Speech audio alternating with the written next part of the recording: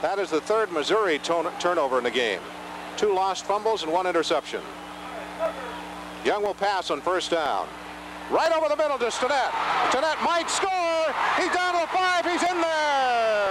Right over the middle to Stinnett. And for the first time in the ball game, Brigham Young has the lead. Running play. Stinnett to throw. Throws it back to Young. Young catches the ball.